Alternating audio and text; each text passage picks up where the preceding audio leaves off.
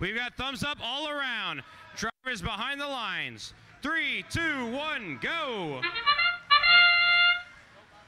And here we are in qualification match number 59, 42-42 off to a quick start, scoring in that low goal while their alliance partners, the Robotiators, able to get a few scores into that outer port.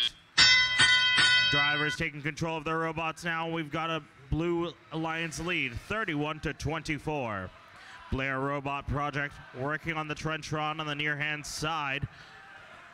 And on the opposite side of the field, we've got the Robotiators scooping up a few power cells there, scoring all three.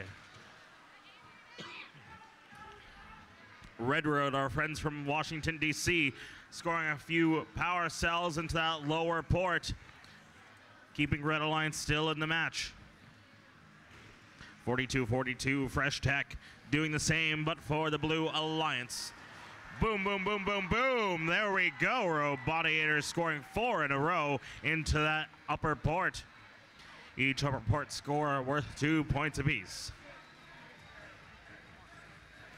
42-42 continuing their cycle between that human player station and the lower port while the Robotiators continue their cascade of scoring. 28-19 Team Dynamite trying to assist Red Road and waking their robot up. While we've got 62-13 Team Quantum playing defense against the Blair Robot Project. Under a minute to play, Blue Alliance in the lead, 60 to 34. But we've seen matches go the other way in the end game. A whole slew of power cells on the near hand side as 449 sends three power cells skyward and out of play. And that sound means we're into our end game. Blue Alliance with a commanding 64 to 34 lead.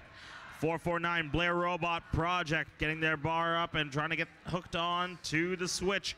But 888 Robotiators trying to make it a game here as they look to climb and possibly hang and make it level.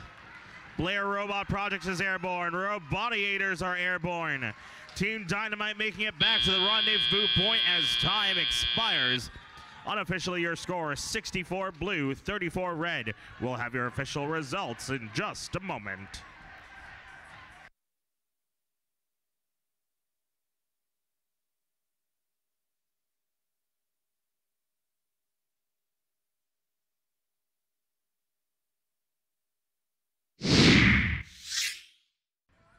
Defending First City will be the Blue Alliance with a score of 109 to 79.